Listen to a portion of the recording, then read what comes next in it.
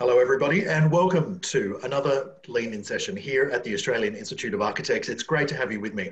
I'm Michael Linky, and um, we're really excited today because today's Lean In focuses on the art and the science of architectural lighting. As we know, lighting has the ability to change our environment and the way that we feel within a space, bringing emotional value to architecture and helping to create a really strong experience for those of us who occupy it. And I suppose vision is one of the most important senses way that we enjoy architecture, and lighting really strongly enhances the way that we perceive it. So in today's Lean In session, I'm thrilled to have Adam De Guara and Fay Greenhalgh of Glowing Structures. Glowing Structures is an award-winning Melbourne architectural lighting consultancy firm, and they're going to showcase the critical importance of lighting across different architectural settings and share their recent lighting projects with us.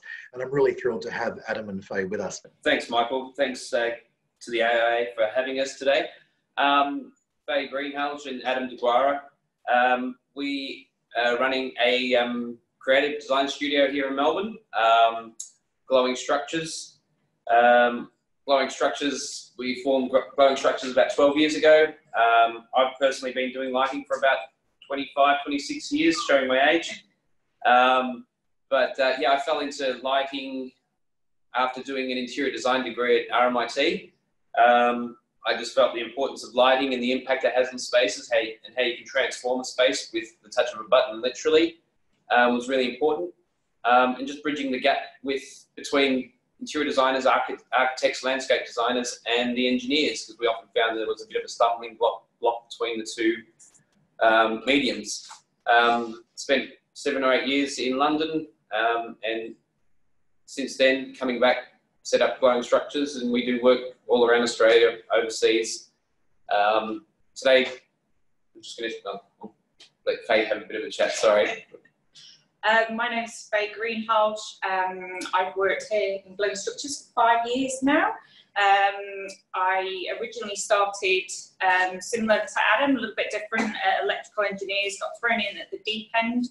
Um, my love of architectural history is probably what has dominated my career in lighting. I've been lucky enough to light such projects as uh, Westminster Abbey and some um, heritage buildings here in Melbourne, luckily.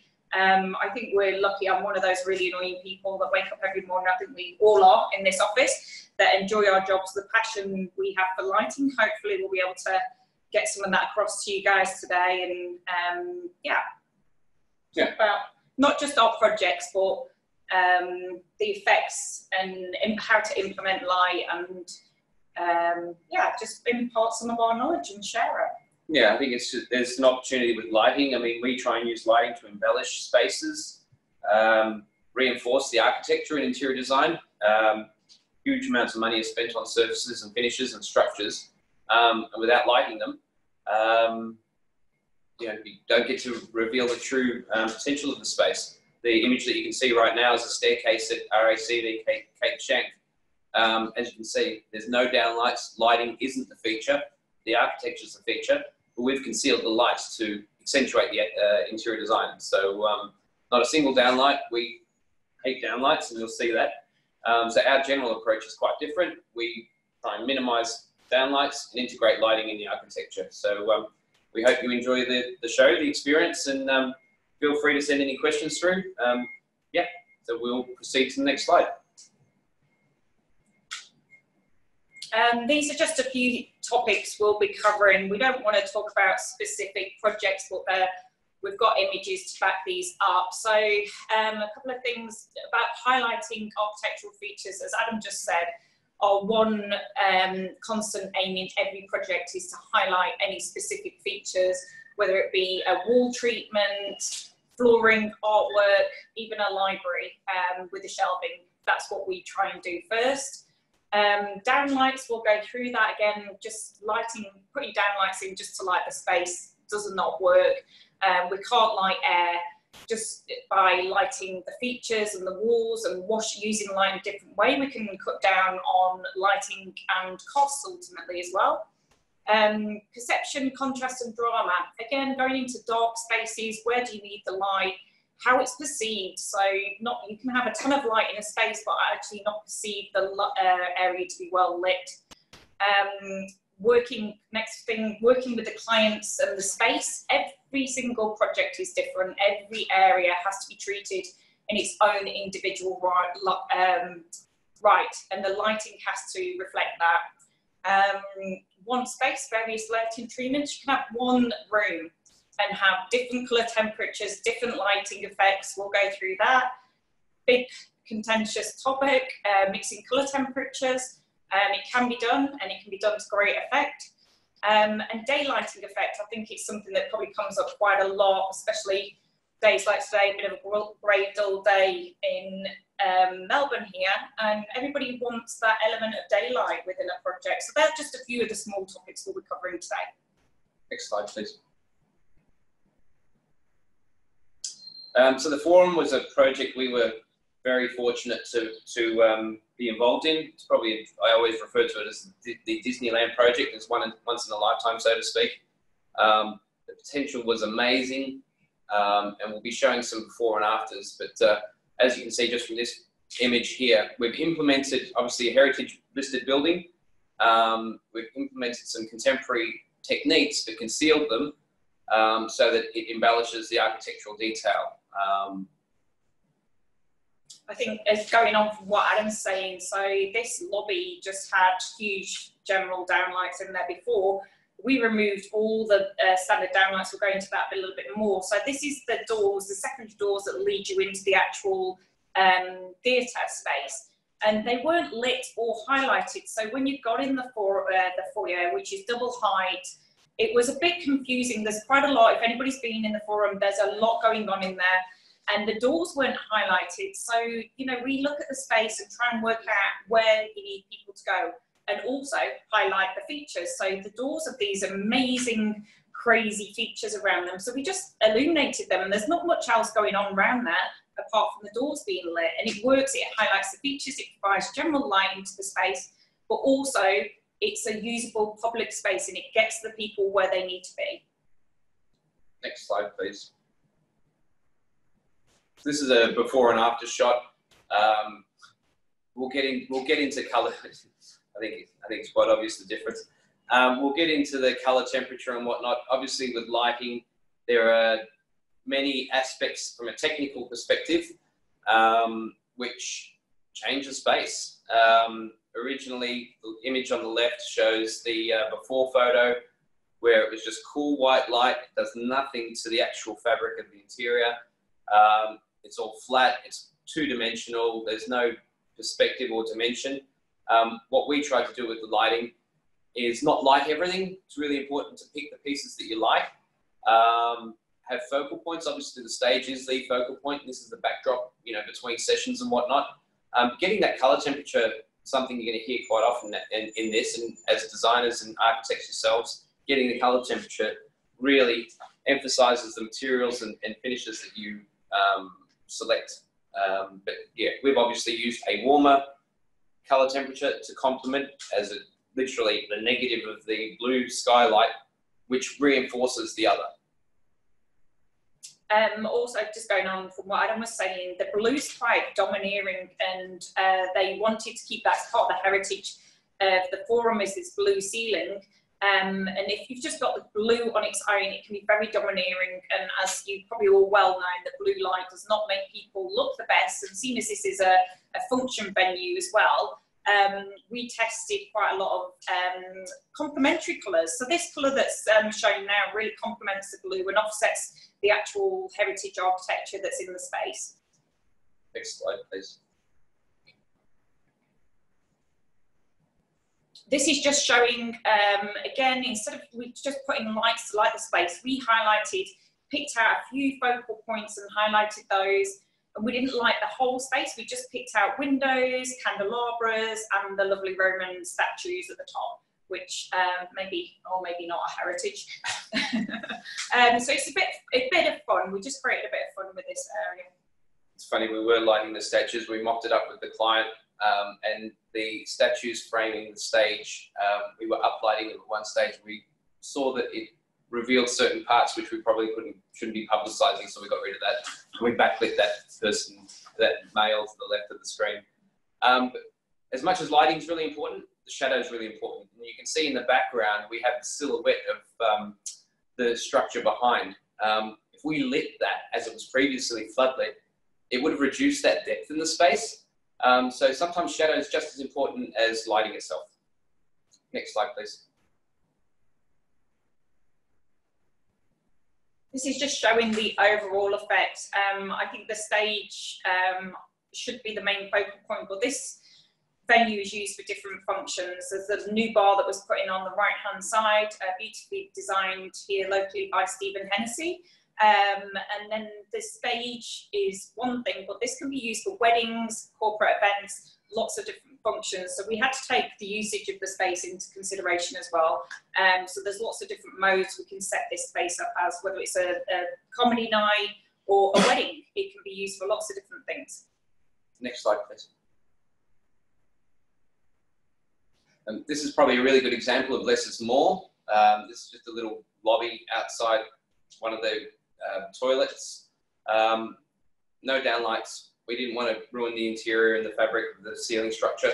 Um, there's a couple of uplights to the fireplace and there's some very discreet downlights just providing adequate illumination, just creating mood, accentuating the architecture and the, the, the heritage details. It's more than enough for the space. Next slide.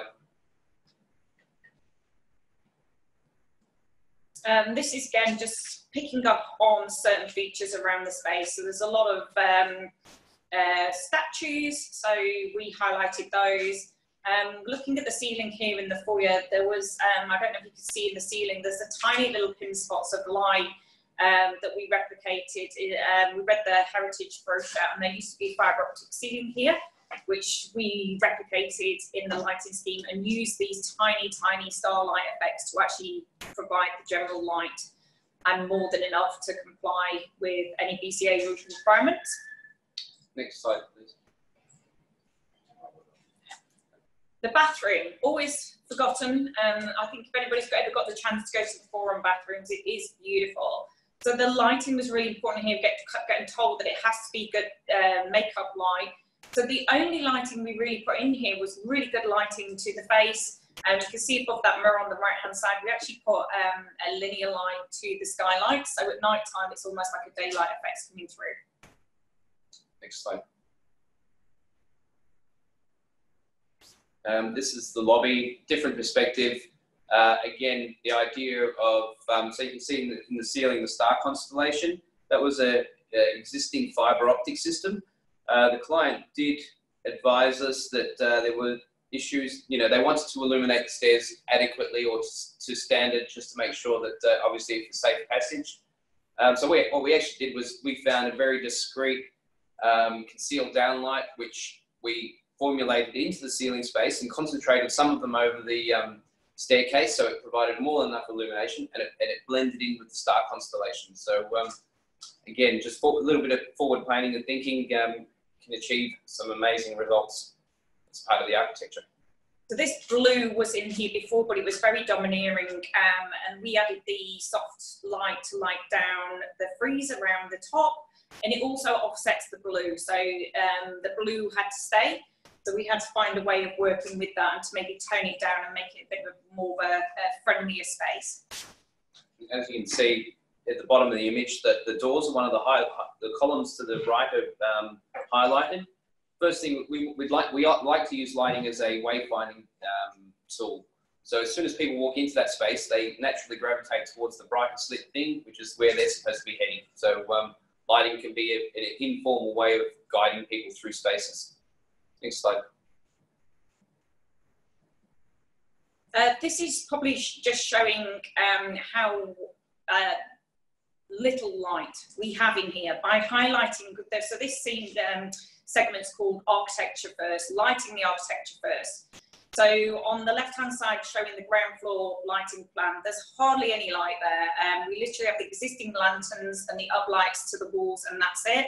The second plan along shows the tiny 28 mil diameter downlights that are being used to create the starry sky, and that is it. And you can see there's more than enough light. Not only is there more than enough light, we can change this by the touch reporting with a control scene depending on what's happening in there. So they sometimes have functions actually in the foyer So we can make it all um, quite moody, cocktail scene, right up to cleaning scene at the touch of a button.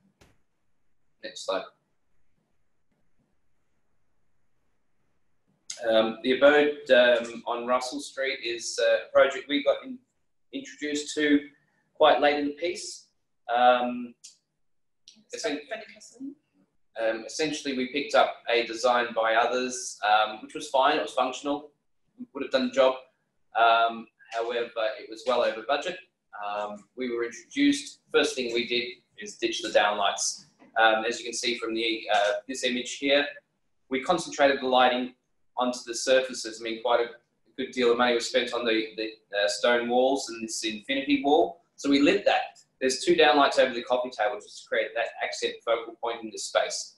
Um, I think our fee was, you know, in the order of $30,000 for the project. And by us coming in and getting involved, I think we saved in the order of about $320,000. So just by rationalizing, you've got a much cleaner interior space, um, much more inviting space, less um, costs in terms of purchasing, installation, and maintenance. So it was win-win-win all the way around.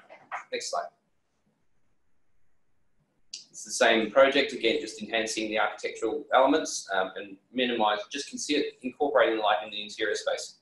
Next slide. Carried that through throughout the whole development. Um, obviously, the, the public spaces, this was the pool.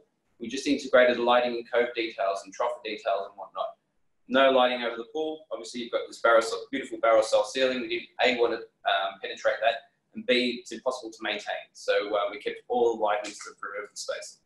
So the lighting here is going from the side, so it's highlighting the ceiling. So all that light that's on the ceilings left and right of the pool is from the sides and integrated into the sides of the The pool is lit by the pool lights, all that's needed. And again, like Adam said, I think he took out quite a few existing downlights in that space. Quite a few probably. Uh, I think we stripped about 95% of the downlights on that were previously designed for the project. And there was ones over the pool, which uh, no one wants to uh, maintain. Next slide, please. Same thing, just carrying the same philosophy throughout the, um, the front of house spaces. Next slide. Again, um, we're kind of showing what not to do. Again, we stripped out all the downlights. We we didn't need so many downlights in this space. It's just a casual um, lounge space. There is lots of light, as you can see, to the green wall. wasn't designed by us, um, but green walls are a bit of a fallacy. Um, they're not green at all because you can see how much light and how much energy is required to keep a green wall alive. So uh, as much as people want to put a green wall in for environmental perspectives, when you look at the technical side of things, they're not very great. We'll discuss this more later on. Next slide, a hot topic. And this is just going back to the lobby. So that image there is looking to the west of those um, plans right there. The top right hand plan is our um, reduced plan. The plan on the bottom right. We probably should have cleaned up. It's not fair. There is other services in there, but I think it can clearly show the amount of downlights that were originally proposed throughout that space compared to what we put in. Again, Adam's talking about, you know, there's a lot of money being put in this stone and the infinity wall behind the um, sofa. So that was highlighted. So don't put the downlights. You cannot light air. The more you just try and add in, you're just going to light the top of your head when you walk through it. So the top plans as installed, the bottom plans a previous pre pre design. Next yeah. next slide, please. So ditch the downlights. Vertical surfaces are really important in spaces. They open up space, give it a lot more depth and perspective. Um, creating drama, again, sometimes less is more. Um, by floodlighting a space, we, you lose your accents and your focal points. Um, areas that have got high ceilings, it's sometimes important, even if you're just doing a wash down the wall, to add a bit of intermediate lighting. So there's lighting at human level. Um, if you've got areas um, for abode, for example, there was lounges, just the bookshelves, artwork.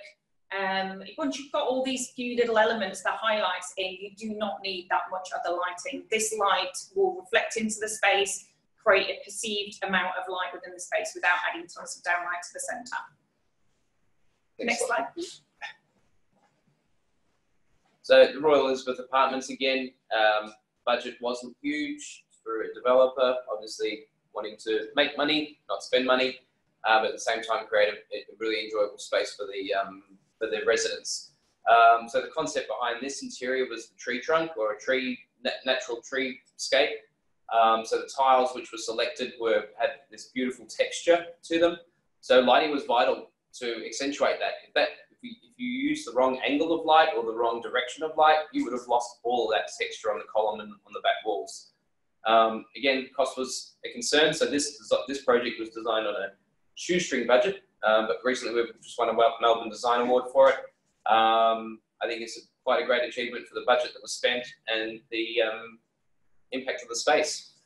Um, that pendant that you see um, was a custom design pendant. It was for, to emulate the rings in the tree trunk, um, the cut tree, the sawn cut tree trunk. Um, so we just picked out little elements indiscreetly to um, light the space, but reinforce the concept. Next slide. This really shows as you're coming into the space, I mean, you can see the darkness um, and the actual lack of downlight. So the place is, all the finishes are black and dark. By adding lots and lots and lots of light does not work. Um, if you do add lots and lots of light, actually the term contrast can be a negative one. So if you've got a dark space and you add a lot of light in one area, that one area can seem really, really bright and one area that's perfectly well lit can seem dark. So when you've got areas that are um, darker, a lot you've got to pay a lot more attention to the lighting and maybe it has to be a little bit more even. So the idea behind the pendant and the tree trunk here is also a wayfinding. So it provides the general light to the space. You can see the even illumination across the floor, but then also the light is behind the concierge and the desk is lit. The, there's wayfinding. So it's about thinking how people use the space. So there's plenty of light in this space. And there's also wayfinding light. So the light has been put to guide people to certain areas within this lobby. Next slide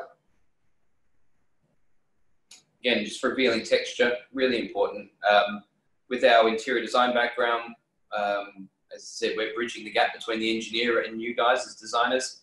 Um, I guess what we're professing is not that, you know, we're trying to teach you guys some techniques or um, techniques that you yourself can do because we know architects and designers do their own um, design plans. But just choosing the right type of light, the right location of the light, as you can see, really accentuates the texture. Um, if that wasn't illuminated correctly, you wouldn't you wouldn't be reading the texture that was always intended. It's quite easily to wash out um, a highly textured surface with with the wrong lighting treatment. Um, so I think we'll mention it later on in here. Um, testing lighting on a texture or a colour is super important um, obviously, this wall probably didn't come from, uh, not there's anything wrong with Bunnings, but it, it, you know, it wasn't at that price point. But it, we highlighted it to bring out the texture. It was very, very important to the clients and the designers that it, this was highlighted. Next slide. So perception, contrast, and drama. Um, bouncing light off surface is really important. Reduce the amount of light required overhead. Um, dark spaces, dark finishes are dark finishes. Obviously, that's what's been chosen, but that can be mitigated by lighting various surfaces. Um, visual accents in spaces are always really quite good. We've found a lot of our successful projects, you can have a certain level of layering of light. I guess that's what we try and achieve. Um, having focal points and accent points, so you don't need a blanket of light. Um, and as Fay mentioned, testing, testing, testing, testing. Testing, testing, again. Um, I'm just going to cover something that happened a couple of weeks ago on a very large project. Uh, we were involved in one part. We got taken to a lobby that was all black. It was beautiful. Um, black marble everywhere, beautiful. And there was a slot detail all washing down the wall. And the client was really concerned that the lobby was dark. Went in there, actually took the lux um, meter, and the lowest area was 320 lux, which is pretty bright. Um, it's your minimum amount for task light. Um, but because the lighting was so bright in one part in a dark area, the contrast made everything else look dark. So we actually told the client to dim the lights, which he thought was crazy. Um, telling somebody who's complaining that it's too dark to dim the lights, but they did, and it evened out the space, and there wasn't one area in this dark corridor that was super bright, and then the other part was super dark. So yeah, the whole contrast and the perception of light and the space is very important. Next slide. Um, so this is so we do commercial spaces, obviously hospitality, heritage, blah blah blah. Um, private residences. This was quite challenging. Um, lots of precast concrete and off-form concrete. Um, so was lots of planning required. Um, we find it's a lot easier whether we're involved, another lighting, lighting design is involved, or with your own um, designs. Um, planning ahead and coordinating with services, structures, and whatnot is paramount. The sooner it gets in, the cheaper it is for to build. Um, once everybody's aware of the requirements, it's just a lot easier for uh, coordination purposes. Uh, next slide. So this is just showing um, the residents. Again, obviously off-form concrete. We wanted to minimize the use of downlight, so you can only see a downlight at the front door. Um, we had a trough of light in the in the floor out externally, continuing internally to illuminate the soffit of this uh, off-form concrete. Again, you know, the, um, the, the, the, feature of that, this space was the uh, texture in the ceiling. So we wanted to highlight that. Um, the downlight's just providing a focal point accent at the door, so give people a sense of direction. Um, next slide. So again, um, just bringing outside into inside. Uh, we like outdoor spaces to feel like they're part of the interior, so we light them as such. You can see some external floor lanterns, obviously weatherproof, marine, uh, marine grade, blah, blah, blah. Um, but that just creates, when you open those beautiful sliding doors outside to feel as though it's part of an inside space and it's just an extension of the living area it's really important outside as well to um, not overlight the space. When you go outside, it should feel magical. So it's it's at night. It should not be lit like your internal office. Um, you should walk outside, walk away from your study, your dining room where you've just unpacked all your shopping, and feel magical. Um, people seem to think they want need downlights. That all that space is lit is with those three, four lanterns, and that's just enough. You've got wayfinding. There's enough light. Sit there and have a drink at night um, do not overlight the exterior at night. It should be dark and magical, like I said. And I think the client was very specific on this, weren't they? Yeah, um, they were outdoor entertaining and whatnot. Yeah. But this is actually being dimmed down. Um, next slide. So as much as um, obviously this lighting, the, the lighting for this space, I guess going to contradict myself here. You need to make sure there's enough light or should they want to have a party or clean the house, so it can't just always be moody. So this, this home has that ability. It can be a lot brighter than we're seeing now. We're just showing the sexy images. Um, you can see the outdoor lighting has been programmed with the interior lighting so that, um, again, you know, with the flick of a button when they hit meals time or TV time, the outdoor lighting comes on with the interior. So it's just create, opening up the space quite a lot. As, you can, as I said, you can see the off-form concrete in the ceiling, so there's lots of planning ahead required for this one. Um, so there's just a downlight over the coffee table, two downlights over the um, dining table, and some extra lighting over the kitchen. Because obviously, again, as much as we want things to look sexy and attractive, we need practical lighting. So uh, from our perspective, it needs to have both the, the ambience and the um, practicality. Um, I think the good thing about this space um, is the way Adam worked with the clients. Um, the client I think he worked with for probably about a year before anything was implemented. And it's really important what we think works and how they use the space are two different things. So we have to take it on board, not just what looks good, but how they use the space and entertaining and indoor and outdoor was, I think, the main priorities here and not interrupting the actual architecture of the space. Um, the architecture was beautiful and actually where you can see the dots of light, it's just from the photo. So the, the lighting was in, in, um, implemented behind the concrete. So they're actually you can't you can't see them, but the photos are showing them up. Yeah. Thanks, Cameron. Next slide, please. Again, an absence of downlights. The, the client going to say a word I shouldn't say. Um, didn't uh, was a bit concerned when they saw the plan with hardly any lights on it. Um, but we reassured them that there were lights, obviously, as you can see in, in the wine, in the um, cellar, uplighting the bottles. There's wines in the joinery. Uh, there's the light in the joinery. Um, a little pendant to the side of the lift core. Um, some lighting to the artwork and a floor lamp. Um, as a safety net, we put a cable of um, supply in the ceiling should, at the client's request, should they wish to add more light. It's not necessary. It's not required. Like I said, lighting, architectural elements and features, you tend to get more than enough light. And obviously being a residential space is a bit, little bit more forgiving. And I think what I like here as well, things don't always have to line up. So in in when we're first working on a job, we're always looking at a plan, and nobody ever sees the space in plan view. So we always think about it as people are walking through the space. Um, so if things don't line up or if they're not even, think about it from actually being in the 3D space, not from the plan. Um, so here we have one pendant to one side of the lift and an uplight to the other um, which works really nicely. It just softens the space. It creates a little bit of interest. And at night time, when they have the night scene on in this house, they dim all the wine cellar down, and then you've just got enough movement light to get them to the lift. Next slide. Again, some dramatic lighting, integration of um, neon lighting, concealed lighting. This was their little theatre room. Um, and the staircase, again, fully integrated lighting. There's not a single downlight.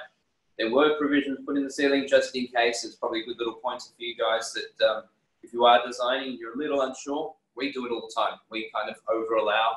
Um, put a provision, put a supply in the ceiling, put a supply in the wall. Much easier to do that during the during the roughing in stage. Should you need it later on, you've got it there. You've got all the hard work done. But uh, this space was a really good example of not requiring it. There's some lighting in the, the uh, custom handrail detail and, and some lighting integrated at the edge of the stair uh, treads, um, uplighting the wall. Next. Is uh, one of our favourites, um, Dan Murphy Cellar in Chapel Street, Prahran. That's not like a normal Dan Murphy cellar. Um, we often ask clients to go to Dan Murphy's in um, Chapel Street and they go to the one over the road and they're just like, oh, okay, that's nice. Um, nice warehouse. Yes, nice warehouse. So this is um, probably on the topic of client-specific lighting and how you have to think about the client requirements and the requirements of the space.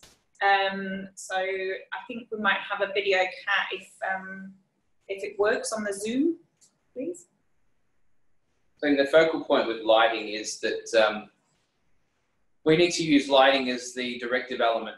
Um, being a retail space, we want people's eye to be drawn to the product. Um, so with this, you can see in the ceiling, there's not a single downlight. Focus of the light is, sorry about the jittery Zoom technology, COVID, stay at home technology. Um, the, the product is the focal point in this space. Um, we do have subtle lighting to the architecture. The architecture forms a backdrop. They're trying to sell spirits, we're highlighting them. Um, so that's where the eye should be drawn. And you use the same analogy in a hotel. As people walk into the, the hotel reception, kind of either the lounge or the reception desk is the focal point. So you use lighting to direct them to the most important piece. Um, just like Adam said, so the alcohol, But if we'd have just lit the liquor um, it, there would have been too much contrast. It's just been liquor, but there was a beautiful backdrop of this building. The bones of this building have been there since 1780 or something. It's actually where Dan Murphy's, that cellar that you're looking at right now is where Dan Murphy started the business 60 years ago. He used to have his secret wine tasting in the basement there, uh, where only a few people were invited. So I think the process of going through with this project was A, the heritage restrictions, um, which worked out, always worked out well in the end. Um, we couldn't get any downlights. We couldn't fix anything to only where there was existing structure, um, older structure that been put, uh, newer structure, sorry, that had been put in later.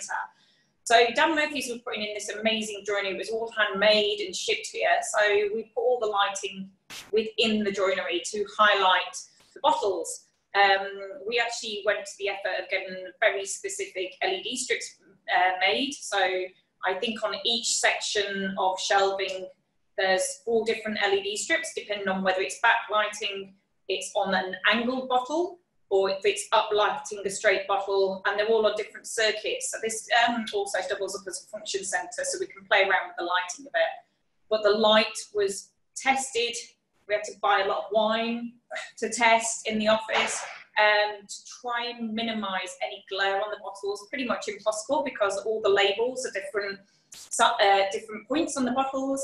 Bottles are naturally reflective, um, but we made bespoke products just for this project. So detailing, detailing, whether it's wine bottles, shelves, mirrors, ceiling curves, what have you, detailing is obviously fundamental. Um, next slide, please. Again, that's the um, kind of uh, tasting counter, but also the, um, the, the, cashier. Um, next slide. Some subtle lighting to the um, architecture. Next slide. You don't like that No. Um, again, focal point is the uh, bottles, but this obviously got this waiting area to create some ambience. Next slide. Um, this shows the skylights. Um, again, we added lighting to the skylights to um, at night. There's a sense of light coming through those lights. They're there. It's not nice to have something above you that's in darkness. So we always think about areas beyond um, there. Next slide. Um, this is just talking about detailing. So this is in one set of shelving. There's up to four or five different types of shell, uh, detailing. It's really important. There was so much testing went on. Not all LED strips perform the same, whether you move them up, down, left, right, pointing backwards. So there's you there's lots on the market. Um, get your suppliers in, test them, and if it doesn't work, work you can move it. Moving it, uh, an LED strip 10 mil out or 10 mil back will make a huge difference, whether it's a texture, a bottle, artwork, um, yeah, just detailing and testing, I think, is the main priority. Just on one set of shelves, it, it can create a massive difference. I think one, one problem we all face is uh, off-specking. Um, you guys would face it, we face it. Um, off-specking is obviously a real problem where, um, you know, we'll, we'll, we've spent months detailing this, finding the right color temperature, um, and often another party comes in with a cheaper alternative. Um, it's a waste of our time, waste of our fees, and the end result won't be achieved. The client will be disappointed. What we try and do to counter that is because um, you know there's a 20 watt per meter LED used in some of our shelves, and it's 2,800 Kelvin. Um, often the builder will go off and get another one, which is the same uh, statistically or technically, it's the same uh, has the same values, but every single manufacturer's there's not enough control with LED. Every single ma manufacturer's 2,800 or 3,000 Kelvin is different. Um, so just as a little pointer, just to ensure your products don't get off spec, we always ask the builder to get a sample of the alternate spec and the, the specified, the original specified fitting, and hold them up next to each other, and or next to the product, or next to the fabric, or next to the texture that you're trying to like. Um, any client that is trying to preserve the design that you guys are putting forward will opt for obviously the best product. And should the alternative be acceptable, great, but often it's not. So don't let the builder or contractor bully you into an alternative which on paper has the same specification, but in, in practical in practical sense, it, uh, we always ask to test it and demonstrate it to the client before a decision is made. So just a little pointer. We're all going to face it and we do face it, and we will continue to face it. Uh, next slide, please. Um, this is an architect's office um, in Melbourne. Uh, this one, um, what was it? The Australasian? Um, Herman Miller Most Livable Office. Um, the brief for this was to create a warm, welcoming, comfortable office space for um, obviously clients to enjoy and the staff to enjoy. Um, so we really had a hospitality focused um, drive behind this, whilst ensuring there's enough light on workspaces and whatnot. So through this, we're just going to talk about how there can be one office, and there's probably about 15 different uh, techniques used throughout the office. We're not going to go through them, but how you can have one open plan space and light each area differently. So we'll go through that quickly. Next up.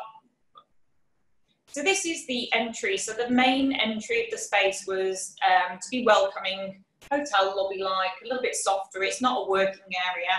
Um, apart from the receptionist, she's got plenty of light, but it was more about come here, sit down, lamps, the plants are lit, um, just a little bit softer than your standard working area, welcoming area um, to the space. So the lighting treatment to this space defines that zone. So, so we use lighting treatments per zone to, as you walk through the space, you can immediately feel that you're in the front of house space, the reception space, the lounge space, the workspace, chill out space. Next slide.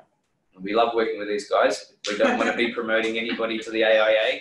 Um, I think people may know who it is, but uh, we're neutral. Yeah, we, we put architect's office, not the name. Um, so yes, we do love working with these guys, as we do with all our architects. Um, yes. Um, so this is obviously the task area. So this had a obviously very specific um, lighting treatment. So it had to have the we um, lit the space, but we wanted to lit, light it very differently from their old office, which had the beautiful um, suspended panel ceilings with fluorescents in them. I think it was like going Yeah. back to 1970s. So what we gave the client here is um, a scheme where you can't see the light sources. Um, so there's plenty of light on the desks. It can be ramped up. We can ramp right down.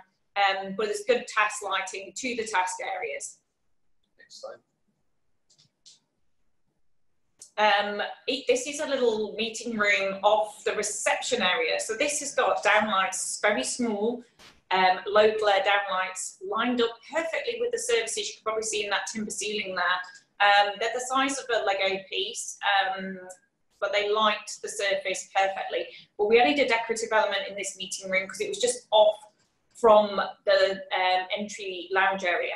So when we're treating these areas, we always have to think about, even though each area is treated separately, we have to think about what's beyond and what's the next part that's happening within this space and make sure they all work cohesively. Next. Um, you can see the task area um, well illuminated to the left there. They also had these wall panels on the right hand side, which were black gloss, pretty much impossible to light well. Um, but we concealed some um, wall washers, some high powered wall washers to the walls, um, so they got the illumination required on the vertical surfaces. But to create that contrast and drama we, were, we mentioned right at the start of the presentation, um, in this space, the, the core was really well lit. So obviously the pin-up boards are, are really well lit, nice and even, um, except for a mechanical duct, which is causing a bit of a shadow, but we won't talk about that one. Um, so the core was really well lit. There's literally no lighting over the walkway because you get so much spill light from the um, pin-up wall, and then there's lots of light over the, the desks, um, reducing power consumption, reducing initial costs, and creating contrast and drama. And it gives, it creates that kind of balanced lighting effect that we're after, where you've got that layering of light. And again, there's no visual clutter. So there's a lot. The, the they um, the architects took a lot of time to clean up all these um, services in the ceiling. We didn't want to mess it up with lighting. So as you can see over the desks, there's not one visual point of light there. Um, so we ensured that the light got to the desk, but without being able to stand there, unless you're right under looking at the light source, you can't see the lights. We didn't want all this visual clutter going on through what is quite a large open plan office. Focal points the pinboard, and that Yes. was that was the fo- that's that, that was the hierarchy. Uh, next slide, please. Um, this is the opposite entry to the reception area. So this is the locker area. Um, so the lobby, as you can see just beyond, is illuminated by the building. There was nothing we could do. Um, but we didn't want the locker area to become a secondarily forgotten place. But, so we uplit the area above the lockers. It's the light lighthouses around, there's plenty of light to the space, but it's just lit in a different way. We don't need task lighting here. Um, we're thinking about the usage of the space. Often um, people ask us to light lobbies similar to what's going on here. Nobody's reading small print in the lobby. They can be unusual or a little bit have more drama to them. Next slide, please. Um, this is the samples area. We've got a lot more light in here. This is their party mode actually, dimmed right down. Um, so this is again thinking about the usage. They need to be able to see samples, and we use high CRI LEDs through here. so they can see any samples and true colours as much as possible without going to the daylight. Next. Two other areas within the office on the left is the quiet zones. So we intentionally kept them quite dark and moody, just naturally feeling that quieter, darker light. Um, each booth has an individually controlled wall light. Uh, the image on the right shows the meeting rooms, which um, you can just about see the downlights to the tables. So everything was very small, concealed, and specific to what it's lighting. So the lights are just over the meeting room tables. They're not going to be moved. So we didn't have lights to the right and the left that were just lighting the floor. It was just lighting the tables and giving more than enough illumination for any paperwork. Next.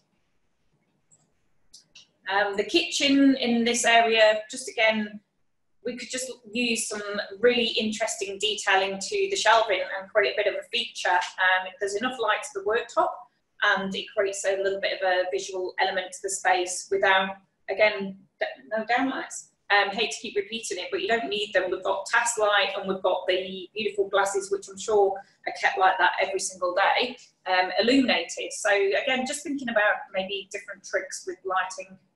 Next. I guess just to summarise with the architect's office, um, lots of different treatments. There's, there's, residential lighting, there's technical lighting, there's concealed lighting, there's exposed lighting.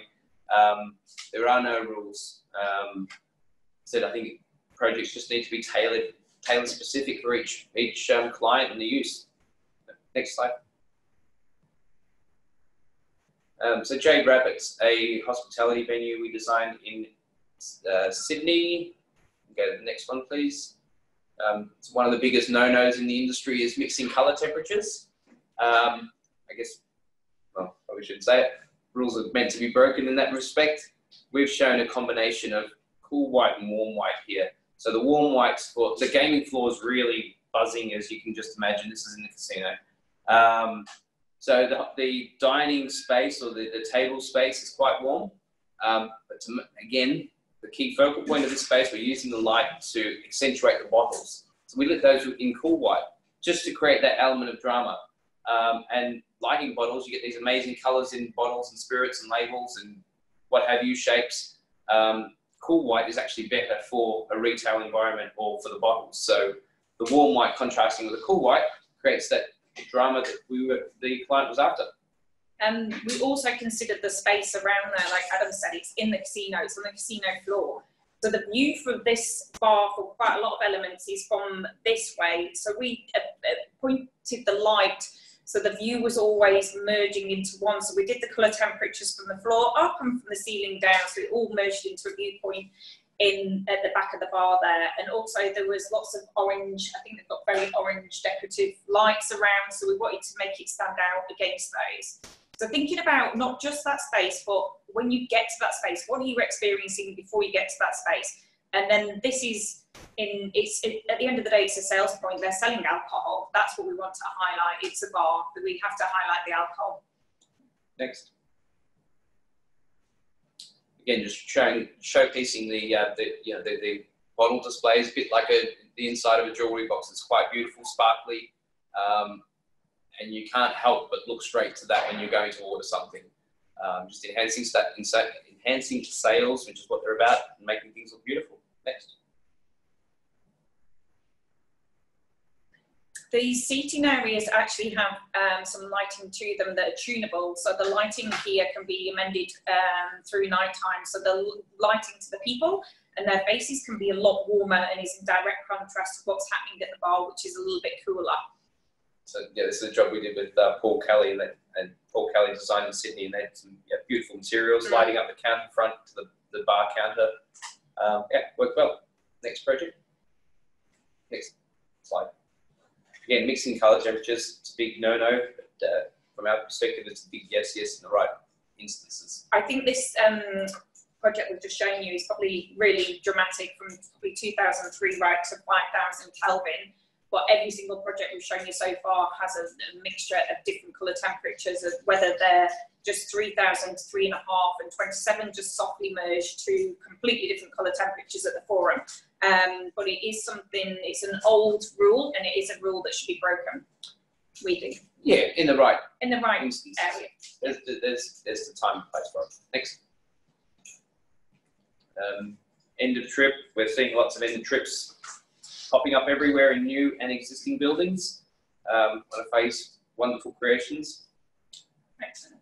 Um, this was amazing. It was by, designed by Gray Puksand, and I always say it would have been beautiful anyway. Um, but the detailing around this project was amazing. So it couldn't have gone wrong. It was beautiful space to start with. Um, can we go to the next slide, please? Um, I think this is just talking around client expectations. So discussing things with the client from day one is really important. So on the left-hand side was the original render.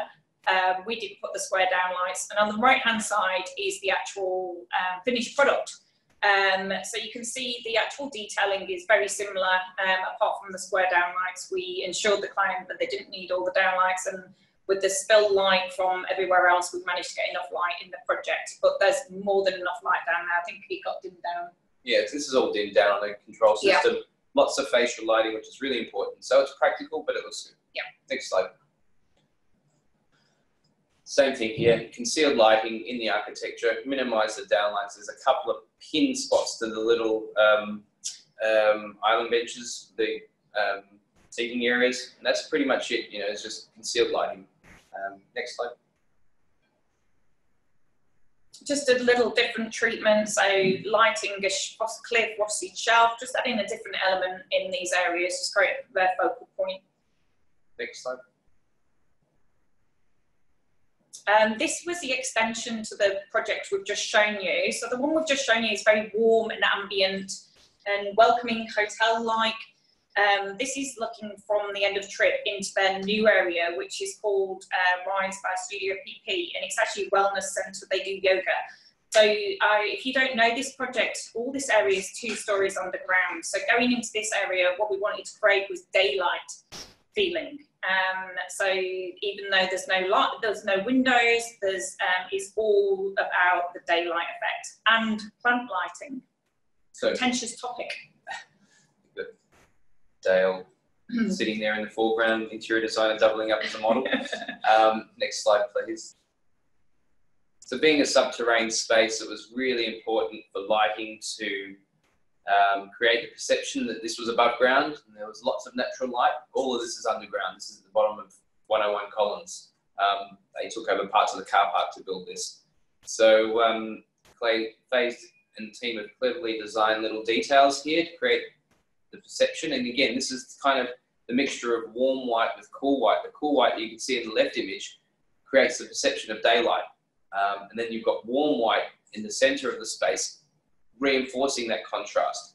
Um, you obviously see the lights going through the uh, lighting the trees. There's cooler light on the trees, again, to create that perception of daylight peeping through. Um, and then contrasting that with the warm light in the general space. Next slide. I think um, create with spaces, lighting, as we mentioned, we've always mentioned this, lighting perimeters and walls and ceiling, which is the total opposite to what a downlight does, really um, opens up the space. Um, and I think that was fundamental in this project to get light up on the ceiling, to the walls, open up the space and uh, minimize that cave-like appearance that you usually get with spaces that are lit from above only.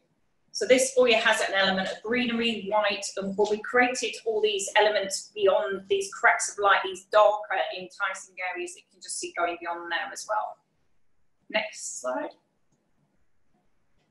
Um, the joinery added that element of warmth where you can see direct contrast where we've got the growth lights to the plants, they're real plants, they're indoors, um, creating a little bit cool area. Um, we'll talk about the growth lights a little bit later on. Next slide. Um, these, there were some beautiful skylights designed by Gray Puksand where the bamboo's grown up into. Unfortunately, we don't have any images of them because they're pretty amazing. Um, but unfortunately, just where they're, they're naturally positioned, there's no sunlight getting to them. So we um, lit them with non-growth light um, lighting. So you can see the downlights here to the planting. So what we used was not the standard plant lights because the ceiling height I think was 2.7. To be able to get plant lights in a ceiling height that low would not be pleasant for anybody using the space. So we did a little bit of research and actually used artwork lighting because of their frequency is um, quite high, similar to plant lighting. So and ensured that the place is actually usable, the plants are kept alive, but without using high-powered illuminants and without having the generally um, what do you call them? In your face growth lights. let's just say that. Um, a bit like the other wall we showed you earlier. Yeah.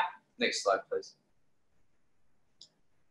Um, this is just showing light again going through the bamboo and then on the right hand side these cracks of light were the uh, important elements I think in some of the areas again creating these areas of intrigue and not sure where that light's coming from but also um, we ensured the detailing was wide enough for if there was any maintenance people to get their hands in so I think it's really important especially these clients want everything to be accessible for maintenance. It was quite a confined space everything was quite compact um, so introducing little light niches and details like this um, added a sense of depth and made, makes the space feel a lot bigger than what it actually is.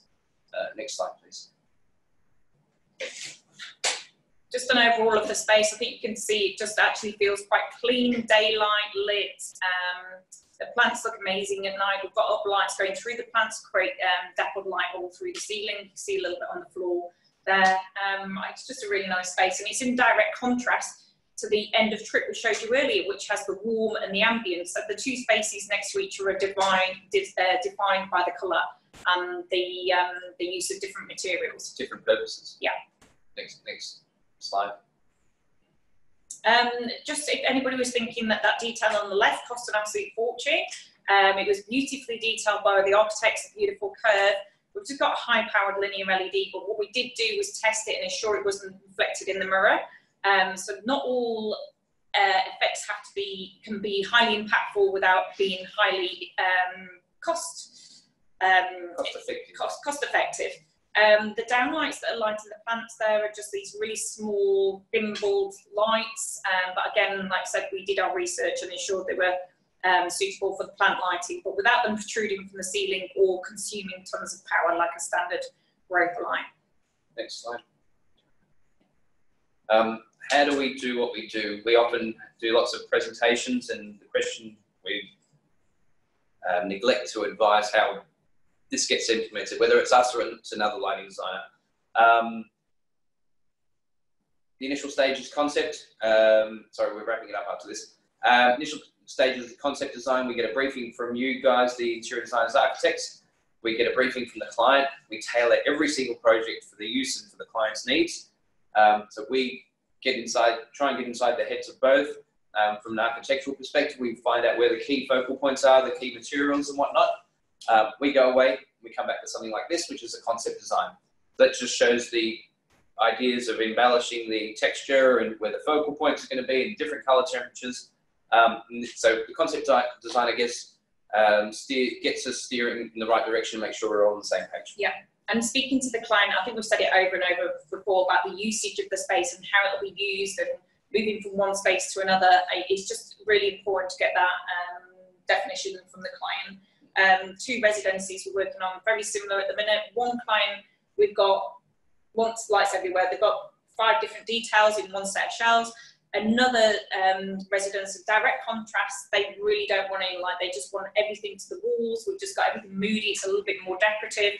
So we speak to the clients um, and ensure, and one's got artwork, one doesn't like artwork. The artwork's a feature in one. So it's really, really important to get in the definition and what's important to the person or to the client. That's the concept phase. Next phase, once this gets approved, uh, we move on to the next slide, please, which is the design documentation. So we translate what you just saw into a technical design. So what we like to do is, um, so we, again, bridging the gap between the engineer and, and you guys, we'll do the lighting plan, we'll circuit all of the lighting. So you can, engineers won't like this, you can reduce their fees because we're doing a portion of their work. So we'll document this. Um, we do lots and lots and lots and lots of details, as you can see on the right-hand side. Um, we'll provide that to you in either CAD or Revit so that you don't have to draw it. Again, we're trying to take, well, you can keep your fees as they are, but we'll give you the details so you don't have to redraw them. We know they're tried and tested. Um, and we issue a specification where we as well as many other lighting designers, are independent. So we pick from the wide range of hundreds of lighting suppliers out there. Um, we just pick the best fitting for the for the application, whilst keeping budget in mind, obviously. Um, next phase, next slide, phase, next phase. I think this is the most important. Most fun part of the job is um, during construction, but also commissioning is um, us going to site, walls move, ceiling heights move. Just a quick phone call and a markup can save a lot of error. Um, so commissioning is us that these aiming to an artwork, believe it or not. That's beautiful artwork on a project we've been working on with ARM. Um, so there was no light aimed towards all these amazing pieces of artwork they had in. And then on the right hand side, um, showing Monash, Monash uh, Chancery we've just worked on. So aiming the lights, so the lights were in very specific areas that we need them to be. So we're getting up on the ladders um, safely and ensuring the lights are pointed to where they're supposed to be. So everything's refined, and I think that's the final part of the, yeah. the process. Yeah, it's pointless installing all these wonderful lights, track lights, spotlights, artwork lights, what have you. Um, and for the last 5% of the job, not commissioning it, I guess, misses out on the last 40% of the success of the installation. So commissioning is really important at the end, but we're obviously also there during the construction phase to assist, implement, and work with all the briefs that we all cop during the construction phase. Um, so that's how we achieve what we achieve. And next, next slide. slide. which is thank you all for listening. Um, difficult times. Yeah, thank you. We've got a, so much to cover. Um, we wanted to cover technical, um, CRI, colour temperature, everything, but we kept it to the pretty pictures and I hope you guys enjoyed it.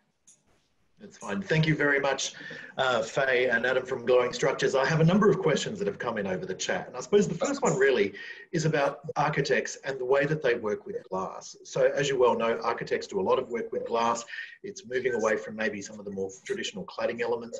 Um, but not only do we have to worry about things like thermal efficiency, we also have to worry about uh, I suppose the issues that reflective the, reflective issues that glass presents. So what's the best way to highlight glass-filled interiors without creating a lot of additional noise shadow uh, that you know a lot of reflection can deliver? So lighting, we did um, a little restaurant um, about a year ago. We did some testing, and it was all about the view. So at night, the glass becomes a mirror, which creates a lot of problems. So we the proposed to the client to keep any lighting off any vertical surfaces in the background, so it did not reflect in the mirror.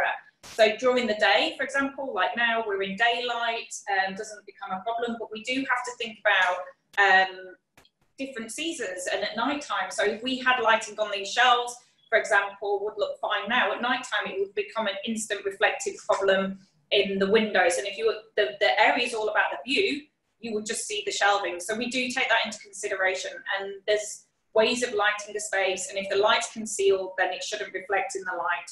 Yeah, it's quite it's quite a different. Polished surfaces are a really difficult material, whether it's polished marble, glass, coloured glass, what have you. Um, polished polished materials are quite difficult to work with. I think it's really important, as Fay says, if it's a view or if it's clear glass, you need to be wary to dim down the lights on the interior of an evening so you can see the view outside.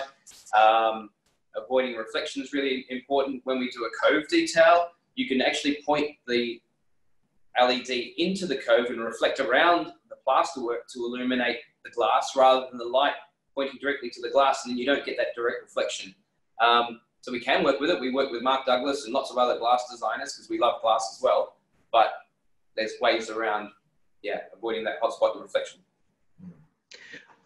The interesting point I have, and this is one rule I might even get it tattooed on me, you talk about ditching the downlights constantly. That's a new one for us. It is difficult though, because it's, it is hard to achieve when they're so embedded into our sort of daily design lexicon. Uh, you know, you've got clients that are very attached to them, especially in the housing sector. You know, you've got a lot of people that have torn a page out of a magazine and said, I love these downlights. I mean, why are, why are downlights so unliked by designers? Is it because they're usually associated with more mediocre dare I say, sort of DIY projects, or is there a bigger, why are downlights no longer sort of in vogue? I've just um, unmuted you. I'm just going to um, ask you to uh, unmute there, Adam, just because there was a little bit of echo. I do apologise. I apologise. was talking about your pendant. I was just saying, you don't have any downlights. You've got a beautiful pendant and some lovely candles, and I'm sure that's a lovely light to live by. But um, I think downlights have come to their force because they're easy, um, they're cheap, um, but putting in a, a, a small space, putting in two rows of three downlights is actually a bit of a false economy because you could actually light that space really well with four downlights, one to each wall. So it's not about ju- not just not using downlights; it's how they're positioned and where they're pointing. Um, I guarantee you would get a much better effect with four downlights in a little small bedroom rather than six downlights right through the centre if you lit all the walls and opened up those spaces. So they're they're cheap, they're quick and easy to put in. Um, They're just not thought out. And I think, like Adam's saying, from a budget perspective, um, you know, they just get put in the rows, they, they're, read on the plan, they're all lined up with the services. You cannot light air. Light has to hit something to be um, picked up by the eye. So reduce the ones that are just lighting the air and then the floor and the top of your head is your wall and highlight the features, no matter what room you put in them in, whether it's artwork, even a wardrobe door, something that's been thought out, artwork, wardrobe door, um, textured walls. So there's a place for them, but maybe not as many as what people think. You get more light from reflected light than you do from a general downlight. When presenting concepts to clients, what is the best rendering program to use when communicating the value and the beauty of what the finished product would look like? We use a couple. yeah, we've toyed with a few different Mm. things. We've had you can do the 3D visualization, modeling, whatnot. Um, just putting it out there to our peers in the industry, that's always quite dangerous because the more realistic it is, the more the the expectations are for it to be exactly like that render. Um, so what we're doing, what we're doing, what the architects are doing is a bit of an art, a bit of a bit of a craft. Um, so we've found often our hand sketches are really good. Um, Photoshop's really good. Um, so we're typ- typically using Photoshop's hand sketches. Um, putting a bit of emotion and, and love into it is probably a bit more than a computer rendering. Um, computers we can tweak to do whatever you really want. Um, but I think when you put that emotion into it and, and, and demonstrate that and present it in such a way, I think that resonates, we've found it resonates a lot more um, with the client. And you know, it's, it's a personal experience, personal interaction. Yeah. How, how do you feel? Yeah, exactly like Adam's saying. And it also will present sometimes fittings to the client that we're trying to show, like trying to talk about a specific light effect or a fitting on a piece of paper doesn't work. And I think we're a lot more about verbalization and showing them and talking them through it and making clients comfortable. I think sometimes we might be proposing something that some they've never seen before. So actually being able to demonstrate it to them physically is very important. In A say- question- say- sorry. Oh no, I was, I was just going to say, just in conscious of time, uh, there's a question from Joe on the chat, and it's an interesting one. And Joe says, "What are your thoughts on sunset dimming, specifically related to more residential projects?" What's your response to that? Um, I I think we've got different views. So um, sunset dimming, I didn't mind when we had halogen. Um, that's what they used to do. Is naturally you could dim the halogen down. We're old enough to remember the halogen, and they would naturally go warm. And I think we've moved on from that. And as a designer, we now use different elements uh, as the night scene. So we'll bring joinery into effect, pendants into effect. Um, that's my personal thought. The cost of them and the energy consumption versus the look and the output, I don't think is quite there yet. And I we have used them in in commercial. Yeah. Um, I think the idea is the idea in principle is really good. Um, to have brighter light during the day as we do now, we've got daylight. That's quite cool.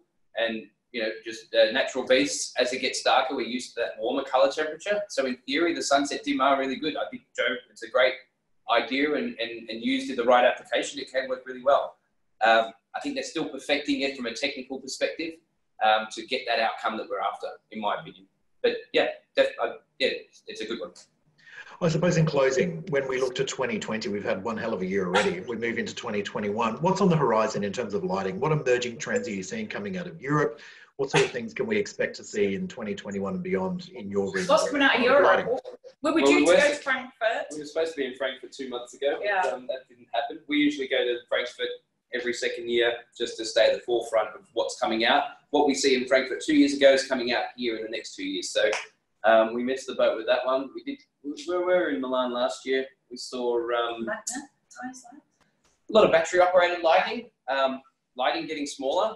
There you go. Um, liking getting smaller. Um, most of our projects there, um, again, we don't want to plug specific suppliers because there's lots that have really good fittings, but um, iGuzzini were kind of at the forefront where they have really tiny downlights but this amazing effect. You know, at the forum, we put downlights in at six meters, which were 28 mil diameter, and it lit the floor down below. So size miniaturization, efficiency, um, cost is getting better um, from a decorative perspective. Um, we've still got our favourites, our little traditionals, but um, yeah, um, I think there's a bit of innovation with the, the magnets, um, and also I hate to say it, and I'm just going to say in a couple of years, I think I've always steered, and I think we've always steered away from solar lights. Um, but I think in the next couple of years we will see some, and I'm not saying now because I haven't seen anything quite there yet, but I do think it's a big market, and I think some people are jumping on it, and it's somewhere that needs a lot of improvement. But I think there's some good things coming out. Great stuff. All right, well, thank you. We might leave it there if that's okay, Adam and uh, Fay from Glowing Structures. If people do want to reach out to you and uh, get in touch, and if they've got any questions or want to collaborate with you on any projects, what's the best website uh, to get in touch with you? glowingstructures.com. Do you want to say that? I'll, I'll say that. I'll say that in English. It's um, glowing structures with an S at the end. So glowingstructures.com, not .au. No worries. Glowingstructures.com, you've heard it here. Well, thank you very much. This is uh, effectively the end of our lean in session today. A huge thank you to you both, Adam DeGuara, Fay Greenhalgh from Glowing Structures. Great to have you with us here at the Institute of Architects, as always. I hope for all of you and all of our frequent leaners that join us that this has been a really fascinating session and hope you've got some really good value out of today's session. So that is it for today. As always, I've been Michael Linky, stuck here in the front bedroom at uh, um, isolating here in Melbourne, sadly, but uh, look forward to catching up with you all again on Thursday. So don't forget, on Thursday, 12 noon, my next lean in session details are on our website as well. So don't forget to register and I'll see you then. Until then, stay safe and look forward to seeing you all very, very soon. Cheers.